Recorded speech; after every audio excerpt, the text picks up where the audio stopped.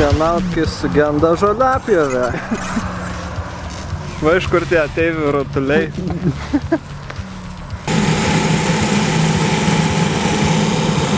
What we're witnessing is a fucking onto trees boiling like a fucking hot oil, bitches.